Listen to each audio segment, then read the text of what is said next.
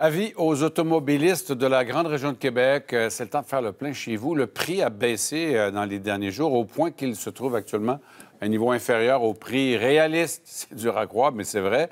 Selon le Club automobile CA Québec, écoutons là-dessus Valérie Chouinard. Dans la capitale nationale, le consommateur devrait payer 1,76 mais voyez de quoi ça a l'air. Le prix à la pompe est plutôt à 1,62 C'est pas anormal qu'on ait des prix euh, à la pompe affichés plus bas que le prix réaliste actuellement. Euh, c'est dans la normalité et ça devrait arriver plus souvent. Sur la rive sud aussi, c'est avantageux. Le prix réaliste est estimé à 1,73 mais le prix à la pompe est inférieur il se situe plutôt à 1,68 dans une région où le prix de l'essence était anormalement élevé, qu'on a même dû enquêter, disons que le constant ce début de semaine fait du bien aux automobilistes. CA Québec conseille même de faire le plein aujourd'hui. Je trouve qu'il est bien plus abordable qu'il a été à une époque. Il est toujours euh, plus cher que pendant la pandémie, mais je pense que c'est quand même relativement abordable. Il faut savoir les spots. Moi, je vais à plusieurs places en ville. C'est pas mal moins cher qu'ailleurs. La semaine passée, c'était moins cher en plus. Euh, ce serait mieux comme ça reviendrait comme la semaine passée. Le prix réaliste de CA Québec, c'est basé sur quoi?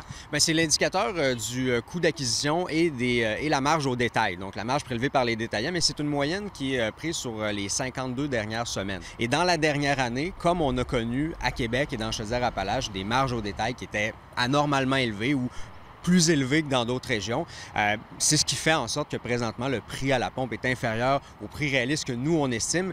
Quand on regarde la dernière année dans nos régions, il y a même eu enquête parce que la Régie de l'énergie disait que le prix de l'essence ici est anormalement élevé. Ça a même fait bouger le ministre Fitzgibbon.